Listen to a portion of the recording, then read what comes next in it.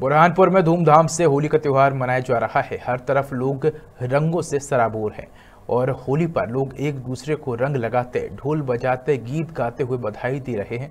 पूरा शहर रंगीन हो गया है। लोगों ने आपस में रंग लगाकर एक दूसरे को बधाइयाँ दी। साथ ही लोगों में उत्साह देखा जा रहा है। पुलिस प्रशासन ने शोर करने वालों पर सख्त कार्रवाई की जाएगी।